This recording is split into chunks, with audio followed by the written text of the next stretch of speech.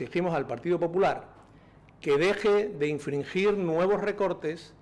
a los ciudadanos de este país y particularmente a los ciudadanos de Extremadura, ahora que están en la oposición, porque no han entendido absolutamente nada de por qué hoy están en la oposición y hace tres meses estaban en el gobierno.